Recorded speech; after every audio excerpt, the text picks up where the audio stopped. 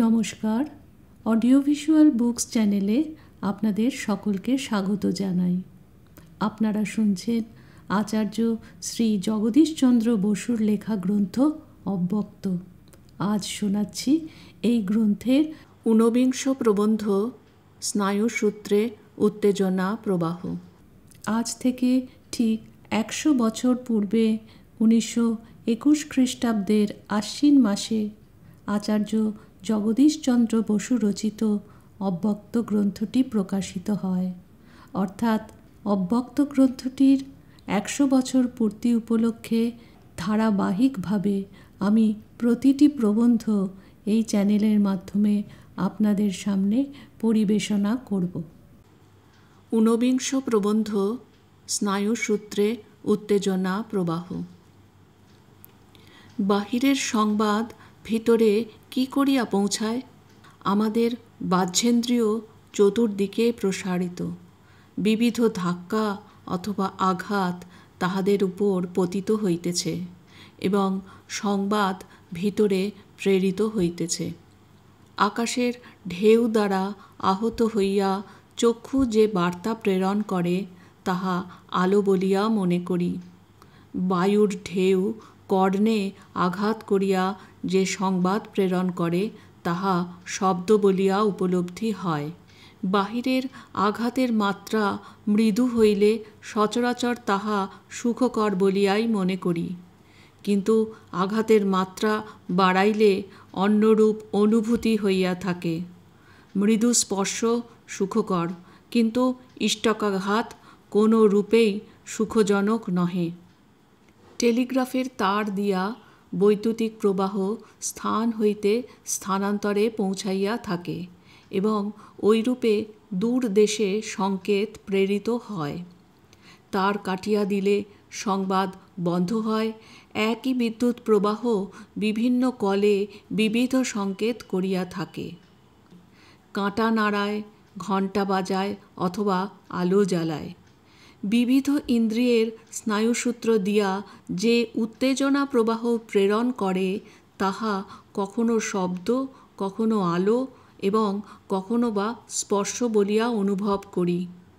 উত্তেজনা প্রবাহ যদি মাংসপেশিতে পতিত হয়, তখন পেশি সংকুচিত হয়। তার কাটিলে যেরূপ খবর বন্ধ হয়, স্নায়ুসূত্র কাটিলে সেইরূপ বাহিরের সংবাদ আর ভিতরে পৌঁছায় না। স্বতঃস্পন্দন ও ভিতরের শক্তি। বাহিরের আঘাতজনিত সাড়ার কথা বলিয়াছি, তাহা ছাড়া আর এক রকমের সাড়া আছে, যাহা আপনা আপনি হইয়া থাকে। সেই স্বতঃস্পন্দন ভিতরের কোনো অজ্ঞাত শক্তি দ্বারা ঘটিয়া থাকে। আমাদের হৃদয়ের স্পন্দন ইহারই একটি উদাহরণ। ইহা আপনা আপনিই হইয়া থাকে। উদ্ভিদ জগতে ইহার উদাহরণ দেখা যায়। বন চাঁড়ালের ছোট দুইটি পাতা আপনা আপনিই নড়িতে থাকে। ভিতরের শক্তিজাত স্বতঃস্পন্দনের আর একটি বিশেষত্ব এই যে ইহা বাহিরের শক্তি দ্বারা বিচলিত হয় না। বাহিরের শক্তিকে বরং প্রতিরোধ করে। সুতরাং দেখা যায়, দুই প্রকারের শক্তি দ্বারা জীব উত্তেজিত হয়, বাহিরের শক্তি এবং ভিতরের শক্তি। সচরাচর ভিতরের শক্তি বাহিরের শক্তিকে প্রতিরোধ করে। ইন্দ্রিয় অগ্রাহ্য কিরূপে ইন্দ্রিয় গ্রাহ্য হইবে? আঘাতের মাত্রা অনুসারেই উত্তেজনা প্রবাহের হ্রাস বৃদ্ধি ঘটিয়া থাকে। এরূপ অনেক ঘটনা ঘটিতেছে যাহা আমাদের ইন্দ্রিয়েরও অগ্রাহ্য। আলো যখন ক্ষীণ হইতে ক্ষীণতর হয়, তখন দৃশ্য অদৃশ্যে মিলিয়া যায়। তখনও চক্ষু আলোক দ্বারা আহত হইতেছে সত্য, কিন্তু অতি ক্ষীণ উত্তেজনা প্রবাহ স্নায়ুসূত্র দিয়া অধিক দূর যাইতে না পারিয়া নিদ্রিত অনুভূতি শক্তিকে জাগাইতে পারে না। ইন্দ্রিয় অগ্রাহ্য কি কোনো দিন ইন্দ্রিয় হইবে? ক্ষণিকের জন্য একদিন যাহার সন্ধান পাইয়াছিলাম, তাহা তো আর দেখিতে পাইতেছি না। কি করিয়া তবে দৃষ্টি প্রখর হইবে অনুভূতি শক্তি বৃদ্ধি পাইবে? অন্যদিকে, বাহিরের ভীষণ আঘাতে অনুভূতি শক্তি বেদনায় মুহ্যমান। সেই যন্ত্রণাদায়ক প্রবাহ কীরূপে প্রশমিত হইবে? হে ভীরু, যদিও তুমি একদিন মরিবে, তথাপি অকাল শঙ্কা হেতু শত শতবার মৃত্যু যাতনা ভোগ করিতেছ। যদিও বহির্জগতের আঘাত তুমি নিবারণ করিতে অসমর্থ, তথাপি অন্তর্জগতের তুমি একমাত্র অধিপতি। যে পথ দিয়া বাহিরের সংবাদ তোমার নিকট পৌঁছিয়া থাকে কোনো দিন কি সেই পথ তোমার আজ্ঞায় এক সময় প্রসারিত এবং অন্য সময় একেবারে রুদ্ধ হইবে? কখনো কখনো উক্তরূপ ঘটনা ঘটিতে দেখা গিয়াছে। মনের বিক্ষিপ্ত অবস্থায় যাহা দেখি নাই কিংবা শুনি নাই, চিত্ত সংযম করিয়া তাহা দেখিয়াছি অথবা শুনিয়াছি। ইহাতে মনে হয় ইচ্ছানুক্রমে এবং বহুদিনের অভ্যাস বলে অনুভূতি শক্তি বৃদ্ধি পাইয়া থাকে। যখন স্নায়ুসূত্র দিয়াই বাহিরের খবর ভিতরে পৌঁছায়, তখন স্নায়ুসূত্রের কি পরিবর্তনে অর্থ উন্মুক্ত দ্বার একেবারে খুলিয়া যায়? অন্য উপায়ও হয়তো আছে যাহাতে খোলা দ্বার একেবারে বন্ধ হইয়া যায়। বাহিরের শক্তির প্রতিরোধ। এইরূপ একটি ঘটনা কুমায়ুন অবস্থানকালে দেখিয়াছিলাম। তরাই হইতে এক ভীষণ ব্যাঘ্র আসিয়া দেশ বিধ্বস্ত করিতেছিল। অল্প দিনেই শতাধিক লোক ব্যাঘ্র কবলিত হইল। সরকার হইতে ব্যাঘ্র মারিবার অনেক চেষ্টা হইয়াছিল, কিন্তু সকলেই নিষ্ফল হইল। গ্রামবাসীরা তখন নিরুপায় হইয়া কালু সিংহের শরণাপন্ন হইল। সে কোনো কালে স্বীকার করিত, কিন্তু অস্ত্র আইনের নিষেধ হেতু বহুকাল যাবৎ তাহার পুরাতন একনলা বন্দুক ব্যবহার করে নাই। বাঘ দিনের বেলায় মাঠে মহিষ বধ করিয়াছিল, সেই মহিষের আর্তনাদ স্পষ্ট শুনিতে পাইয়াছিলাম। রাত্রে সে স্থানে বাঘ ফিরিয়া আসিবে, এই আশায় নিকটের ঝোপের আড়ালে কালু সিং প্রতীক্ষা করিতেছিল। সন্ধ্যার সময় সাক্ষাৎ জমরূপে বাঘ দেখা দিল। মাঝখানে তিন হাত মাত্র ব্যবধান। ভয়ে কালু সিংহের সমস্ত শরীর কাঁপিতেছিল। কোনো রূপেই বন্দুক স্থির করিয়া লক্ষ্য করিতে পারিতেছিল না। কালু সিংহের নিকট পরে শুনিলাম, তখন আমি নিজেকে ধমক দিয়া বলিলাম, এ কি কালু সিং স্ত্রী বহিন বাল বাচ্চাদের যান বাঁচাইবার জন্য তোমাকে এখানে পাঠাইয়াছে। আর তুমি ঝোপের আড়ালে শুইয়া আছো? অমনি ভিতর দিয়া আগুনের মতো কি একটা ছুটিয়া গেল। তাহাতে শরীর লোহার মতো শক্ত হইল। তখন বাঘের সামনে দাঁড়াইলাম। বাঘ আমাকে লক্ষ্য করিয়া লাফ দিল। সেই সঙ্গেই আমার বন্দুকের আওয়াজ হইল। আর বাঘ মরিল। স্নায়ুর ভিতর দিয়া কি একটা ছুটিয়া যায়, যাহাতে শরীর লোহার মতো কঠিন হয়। তখন সেই লৌহ বর্ম ভেদ করিয়া বাহিরের কোনো ভয় ভিতরে প্রবেশ করিতে পারে না। স্নায়ুসূত্রে কি পরিবর্তন ঘটে, যাহা দ্বারা এরূপ অসম্ভবও সম্ভব হয়? স্নায়ুর ভিতরে উত্তেজনা প্রবাহ সম্পূর্ণ অদৃশ্য। তাহার প্রকৃতি কি, তাহা কি নিয়মে চালিত হয়, তাহার কিছুই জানা নাই। বৈজ্ঞানিক পরীক্ষার দ্বারা এই তথ্য নির্ণীত হইবে মনে করিয়া বিশ বৎসর যাবৎ এই সন্ধানে নিযুক্ত ছিলাম। বৃক্ষে স্নায়ুসূত্র সর্বাগ্রে উদ্ভিদ জীবন লইয়া পরীক্ষা করিয়াছিলাম। ফেফার হ্যাবারল্যান্ড প্রমুখ ইউরোপীয় পণ্ডিতগণ সিদ্ধান্ত করিয়াছিলেন যে, প্রাণীদের ন্যায় উদ্ভিদে কোনো স্নায়ুসূত্র নাই। তবে লজ্জাবতী লতার এক স্থানে চিমটি কাটিলে দূরস্থিত পাতা কেন পড়িয়া যায়? ইহার উত্তরে তাহারা বলেন, চিমটি কাটিলে উদ্ভিদে জলপ্রবাহ উৎপন্ন হয় এবং সেই প্রবাহের ধাক্কায় পাতা পতিত হইয়া থাকে। এই নিষ্পত্তি যে ভ্রমাত্মক, তাহা আমার পরীক্ষা দ্বারা প্রমাণিত হইয়াছে। প্রথমত চিমটি না কাটিয়া অন্যরূপে লজ্জাবতী লতার উত্তেজনা প্রবাহ প্রেরণ করা যাইতে পারে। যেসব উপায় জলপ্রবাহ একেবারেই উৎপন্ন হয় না। আরও দেখা যায়, প্রাণীর স্নায়ুতে যেসব বিশেষত্ব আছে, উদ্ভিদ স্নায়ুতেও তাহা বর্তমান। নলের ভিতরে জলপ্রবাহের বেগ, শীত অথবা উষ্ণতায় হ্রাস বৃদ্ধি পায় না। কিন্তু স্নায়ুর উত্তেজনার বেগ নয় ডিগ্রি উত্তাপে দ্বিগুণিত হয়। উদ্ভিদে তাহাই হইয়া থাকে। অধিক শৈত্যে উদ্ভিদের স্নায়ুসূত্র অসার হইয়া যায়। তখন উত্তেজনা প্রবাহ একেবারেই বন্ধ হয়। ক্লোরোফর্ম প্রয়োগে উত্তেজনা প্রবাহ স্থগিত হইয়া যায়। উদ্ভিদে যে স্নায়ুসূত্র আছে, আমার এই সিদ্ধান্ত এখন সর্বত্র গৃহীত হইয়াছে। আণবিক সন্নিবেশে উত্তেজনা প্রবাহের হ্রাস বৃদ্ধি। প্রথমে দেখা যাওক কি উপায় স্নায়ুর উত্তেজনা দূরে প্রেরিত হয়। এ সম্বন্ধে পরিষ্কার ধারণা হইলে পরে দেখা যাইবে কিরূপে উত্তেজনা প্রবাহ বর্ধিত কিংবা প্রশমিত হইতে পারে।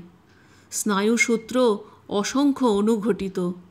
প্রত্যেক অণুই স্বাভাবিক অবস্থায় আপেক্ষিক নিশ্চলভাবে স্বীয় স্থানে অবস্থিত। কিন্তু আঘাত পাইলে হেলিতে দুলিতে থাকে।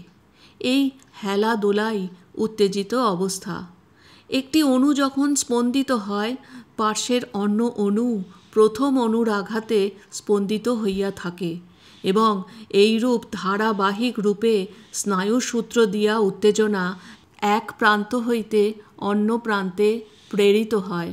অনুর আঘাতজনিত কম্পন কীরূপে দূরে প্রেরিত হয়, তাহার একটা ছবি কল্পনা করিতে পারি। মনে করো, টেবিলের ওপর এক সারি পুস্তক সোজাভাবে সাজানো আছে। ডান দিকের বইখানাকে বাম দিকে ধাক্কা দিলে প্রথম নম্বরের পুস্তক দ্বিতীয় নম্বরের পুস্তকের উপর পড়িয়া তৃতীয় পুস্তককে ধাক্কা দিবে এবং এই রূপে আঘাতের ধাক্কা এক দিক হইতে অন্য দিকে পৌঁছিবে। বইগুলি প্রথমে সোজা ছিল এবং প্রথম পুস্তকখানাকে উল্টাইয়া ফেলিতে কিয়ৎ পরিমাণ শক্তির আবশ্যক। মনে করো তাহার মাত্রা পাঁচ। ধাক্কার জোর যদি পাঁচ না হইয়া তিন হয়, তাহা হইলে বইখানা উল্টাইয়া পড়িবে না। সুতরাং পার্শ্বের বইগুলিও নিশ্চল অবস্থায় থাকিবে। এই কারণে বহির ইন্দ্রিয়ের উপর ধাক্কা যখন অতি ক্ষীণ হয়, তখন উত্তেজনা দূরে পৌঁছিতে পারে না এবং এই জন্য বাহিরের আঘাত ইন্দ্রিয় গ্রাহ্য হয় না। মনে করো, বইগুলিকে সোজা অবস্থায় না রাখিয়া বাম দিকে একটু হেলানো অবস্থায় রাখা গেল। এবার স্বল্প ধাক্কাতেই বইখানা উল্টাইয়া পড়িবে। এবং ধাক্কাটা একদিক হইতে অন্য দিকে পৌঁছিবে। পূর্বে ধাক্কার জোর পাঁচ না হইয়া তিন হইলে আঘাত দূরে পৌঁছিত না, এখন তাহা সহজেই পৌঁছিবে। বইগুলিকে উল্টা দিকে হেলাইলে পাঁচ নম্বরের ধাক্কা প্রথম পুস্তকখানাকে উল্টাইতে পারিবে না। ধাক্কা এবার দূরে পৌঁছিবে না গন্তব্য পথ যেন একেবারে বন্ধ হইয়া যাইবে। এই উদাহরণ হইতে বোঝা যায় যে স্নায়ুসূত্রের অণুগুলিকে দুই প্রকারে সাজানো যাইতে পারে। সম্মুখ সন্নিবেশে ইন্দ্রিয় অগ্রাহ্য শক্তি ইন্দ্রিয় গ্রাহ্য হইবে আর বিমুখ সন্নিবেশে বাহিরের ভীষণ আঘাতজনিত উত্তেজনার ধাক্কা ভিতরে পৌঁছিতে পারে না। পরীক্ষা উত্তেজনা প্রবাহ সংযত করিবার সমস্যা কিরূপে পূরণ করিতে সমর্থ হইব, তাহা স্থূলভাবে বর্ণনা করিয়াছি। এ সম্বন্ধে যাহা মনে করিয়াছি, তাহা পরীক্ষা সাপেক্ষ। তবে কি উপায় আণবিক সন্নিবেশ সমুখ অথবা বিমুখ হইতে পারে? এরূপ দেখা যায় যে বিদ্যুৎ প্রবাহ এক দিকে প্রেরণ করিলে নিকটের চুম্বক শলাকাগুলি ঘুরিয়া একমুখী হইয়া যায়। বিদ্যুৎ প্রবাহ অন্যদিকে প্রেরণ করিলে শলাকাগুলি ঘুরিয়া অন্যমুখী হয়। বিদ্যুৎ বাহক জলীয় পদার্থের ভিতর দিয়া যদি বিদ্যুৎ স্রোত প্রেরণ করা যায়, তবে অণুগুলিও বিচলিত হইয়া যায়। এবং অনুসন্নিবেশ বিদ্যুৎ স্রোতের দিক অনুসারে নিয়মিত হইয়া থাকে। স্নায়ুসূত্রে এই উপায় দুই প্রকারে আণবিক সন্নিবেশ করা যাইতে পারে। প্রথম পরীক্ষা লজ্জাবতী লইয়া করিয়াছিলাম। আঘাতের মাত্রা এরূপ ক্ষীণ করিলাম, লজ্জাবতী তাহা অনুভব করিতে সমর্থ হইল না। তাহার পর আণবিক সন্নিবেশ সম্মুখ করা হইল। অমনি যে আঘাত লজ্জাবতী কোনো দিনও টের পায় নাই, এখন তাহা অনুভব করিল এবং সজোরে পাতা নাড়িয়া সাড়া দিল। ইহার পর আণবিক সন্নিবেশ বিমুখ করিলাম। এবার লজ্জাবতীর উপর প্রচণ্ড আঘাত করিলেও লজ্জাবতী তাহাতে ভ্রুক্ষেপ করিল না। পাতাগুলি নিস্পন্দিত থাকিয়া উপেক্ষা জানাইল। তাহার পর ভেক ধরিয়া পূর্বোক্ত প্রকারে পরীক্ষা করিলাম। যে আঘাত ভেক কোনোদিনও অনুভব করে নাই, স্নায়ুসূত্রে সমুখ আণবিক সন্নিবেশে সে তাহা অনুভব করিল এবং গা নাড়িয়া সাড়া দিল। তাহার পর কাটা ঘায়ে নুন প্রয়োগ করিলাম। এবার ব্যাং ছটফট করিতে লাগিল, কিন্তু যেমনই আণবিক সন্নিবেশ বিমুখ করিলাম, অমনি বেদনাজনক প্রবাহ যেন পথের মাঝখানে আবদ্ধ হইয়া রহিল। এবং ব্যাং একেবারে শান্ত হইল। সুতরাং দেখা যায় যে স্নায়ুসূত্রে উত্তেজনা প্রবাহ ইচ্ছা অনুসারে হ্রাস অথবা বৃদ্ধি করা যাইতে পারে। সেই হ্রাস বৃদ্ধি আণবিক সন্নিবেশের ওপর নির্ভর করে। একরূপ সন্নিবেশে উত্তেজনার প্রবাহ বহু গুণ বৃদ্ধি পায়। অন্যরূপ সন্নিবেশে উত্তেজনার প্রবাহ আড়ষ্ট হইয়া যায়। আরও দেখা যায়, এই আণবিক সন্নিবেশ এবং তজ্জনিত উত্তেজনা প্রবাহের হ্রাস বৃদ্ধি বাহিরের নির্দিষ্ট শক্তি প্রয়োগে নিয়মিত করা যাইতে পারে। ইহা কোনো আকস্মিক অথবা দৈব ঘটনা নহে, কিন্তু পরীক্ষিত বৈজ্ঞানিক সত্য। ইহাতে কার্যকারণের সম্বন্ধ অকাঠ্য। বাহিরের শক্তি দ্বারা যাহা ঘটিয়া থাকে, ভিতরের শক্তি দ্বারাও অনেক সময় তাহা সংঘটিত হয়। বাহিরের আঘাতে হস্তপেশি যেরূপ সংকুচিত হয়, ভিতরের ইচ্ছায়ও হস্ত সেইরূপ সংকুচিত হয়। উল্টা রকমের হুকুমে হাত স্লথ হইয়া যায়। ইহাতে দেখা যায় যে, স্নায়ুসূত্রে আণবিক সন্নিবেশ ইচ্ছা শক্তি দ্বারা নিয়মিত হইতে পারে। তাহা হইলে ভিতরের শক্তি বলেও স্নায়ুসূত্রে উত্তেজনা প্রবাহ বর্ধিত অথবা সংযত হইতে পারিবে। তবে এই দুই প্রকার আণবিক সন্নিবেশ করিবার ক্ষমতা বহু দিনের অভ্যাস ও সাধনা সাপেক্ষ। শিশু প্রথম প্রথম হাঁটিতে পারে না, কিন্তু অনেক দিনের চেষ্টা ও অভ্যাসের ফলে চলাফেরা স্বাভাবিক হইয়া যায়। সুতরাং মানুষ কেবল অদৃষ্টেরই দাস নহে, তাহারই মধ্যে এক শক্তি নিহিত আছে যাহার দ্বারা সে বহির্জগৎ নিরপেক্ষ হইতে পারে। তাহারই ইচ্ছানুসারে বাহির ও ভিতরের প্রবেশদ্বার কখনো উদ্ঘাটিত, কখনো অবরুদ্ধ হইতে পারিবে। এই রূপে দৈহিক ও মানসিক দুর্বলতার ওপর সে জয়ী হইবে। যে ক্ষীণ বার্তা শুনিতে পায় নাই, তাহা শ্রুতিগোচর হইবে। যে লক্ষ্য সে দেখিতে পায় নাই, তাহা তাহার নিকট জাজ্জল্যমান হইবে। অন্য প্রকারে সে বাহিরের সর্ববিভীষিকার অতীত হইবে। অন্তর্রাজ্যে স্বেচ্ছা বলে সে বাহিরের ঝঞ্ঝার মধ্যেও অক্ষুব্ধ রহিবে। ভিতর ও বাহির। ভিতরের শক্তি তো স্বেচ্ছা। তবে জীবনের কোন স্তরে এই শক্তির উদ্ভব হইয়াছে? শুষ্ক তৃণ জলস্রোতে ভাসিয়া যায়, কিন্তু জীব কেবল বাহিরের প্রবাহ দ্বারাই পরিচালিত হয় না, বরং ঢেউয়ের আঘাতে উত্তেজিত হইয়া স্রোতের বিরুদ্ধে সন্তরণ করে। কোন স্তরে তবে এই যুঝিবার শক্তি জাগিয়া উঠিয়াছে? ক্ষুদ্রাদপি ক্ষুদ্র জীববিন্দু কখনো বাহিরের শক্তি গ্রহণ করে, কখনো ভিতরের শক্তি দিয়া প্রতিহার করে। গ্রহণ ও প্রত্যাখ্যান করিবার ক্ষমতাই তো ইচ্ছা শক্তি আর ভিতরের শক্তিই বা কীরূপে উদ্ভূত হইয়াছে? বাহিরের ও ভিতরের শক্তি কি একেবারেই বিভিন্ন? পূর্বেই বলিয়াছি যে বনচাড়ালের পাতা দুইটি ভিতরের শক্তি বলে আপনা আপনিই নড়িতে থাকে। কিন্তু গাছটিকে দুই দিন অন্ধকারে রাখিয়া দেখিলাম যে পাতা দুইটি একেবারেই নিশ্চল হইয়া গিয়াছে। ইহার কারণ এই যে, ভিতরের শক্তি যাহা সঞ্চিত ছিল, তাহা এখন ফুরাইয়া গিয়াছে। এখন পাতা দুইটির উপর ক্ষণিকের জন্য আলো নিক্ষেপ করিলে দেখা যায় যে, পাতা নাড়িয়া সাড়া দিতেছে। কিন্তু আলো বন্ধ করিলেই পাতার স্পন্দন থামিয়া যায়। ইহার পর অধিককাল আলো নিক্ষেপ করিলে এক অত্যাদ্ভুত ঘটনা দেখা যায়। এবার আলো বন্ধ করিবার পরও পাতা দুইটি বহুক্ষণ ধরিয়া যেন স্বেচ্ছায় নড়িতে থাকে।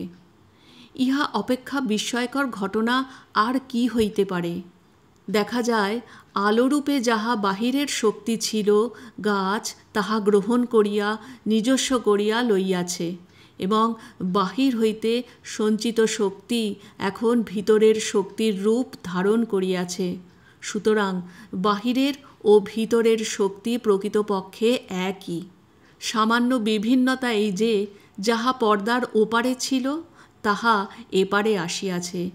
যাহা পর ছিল, তাহা আপন হইয়াছে। আরও দেখা যায় যে, এরূপ স্বতঃস্পন্দিত অবস্থায় পাতাটি বাহিরের আঘাতে বিচলিত হয় না। সে এখন বাহিরের শক্তি নিরপেক্ষ, অর্থাৎ ভিতরের শক্তি দিয়া বাহিরের শক্তি প্রতিরোধ করিতে সমর্থ হইয়াছে। যখন ভিতরের সঞ্চয় ফুরাইবে, কেবল তখনই গ্রহণ করিবে এবং পরে স্বেচ্ছাক্রমে প্রত্যাখ্যান করিবে। জীবনের কোন স্তরে তবে ভিতরের শক্তি ও স্বেচ্ছা উদ্ভূত হইয়াছে? জন্মিবার সময় ক্ষুদ্র ও অসহায় হইয়া এই শক্তিসাগরে নিক্ষিপ্ত হইয়াছিলাম। তখন বাহিরের শক্তি ভিতরে প্রবেশ করিয়া আমার শরীর লালিত ও বর্ধিত করিয়াছে। মাতৃস্তন্যের সহিত স্নেহ মায়া মমতা অন্তরে প্রবেশ করিয়াছে এবং বন্ধুজনের প্রেমের দ্বারা জীবন উৎফুল্ল হইয়াছে। দুর্দিন ও বাহিরের আঘাতের ফলে ভিতরে শক্তি সঞ্চিত হইয়াছে এবং তাহারই বলে বাহিরের সহিত জুঝিতে সক্ষম হইয়াছি। ইহার মধ্যে আমার নিজস্ব কোথায়? এই সবের মূলে আমি না তুমি? একের জীবনের উচ্ছ্বাসে তুমি অন্য জীবন পূর্ণ করিয়াছ। অনেকে তোমারই নির্দেশে জ্ঞান সন্ধানার্থে জীবন পাত করিয়াছে। মানবের কল্যাণ হেতু রাজ্য সম্পদ ত্যাগ করিয়া দুঃখ দারিদ্র বরণ করিয়াছে এবং দেশ সেবায় অকাতরে বদ্ধ মঞ্চে আরোহণ করিয়াছে। সেই সব জীবনের বিক্ষিপ্ত শক্তি অন্য জীবন, জ্ঞান ও ধর্মে শৌর্য ও বীর্যে পরিপূরিত করিয়াছে। ভিতর ও বাহিরের শক্তি সংগ্রামেই জীবন বিবিধ রূপে পরিস্ফুট হইতেছে। উভয়ের মূলে একই মহাশক্তি, যার দ্বারা অজীব ও সজীব অণু ও ব্রহ্মাণ্ড অনুপ্রাণিত। সেই শক্তির উচ্ছ্বাসেই জীবনের অভিব্যক্তি, সেই শক্তিতেই মানব দানবত্ব পরিহার করিয়া দেবত্বে উন্নীত হইবে। প্রবন্ধ স্নায়ুসূত্রে উত্তেজনা প্রবাহ এখানেই শেষ হলো। ভালো লাগলে লাইক শেয়ার সাবস্ক্রাইব করতে ভুলবেন না। ধন্যবাদ।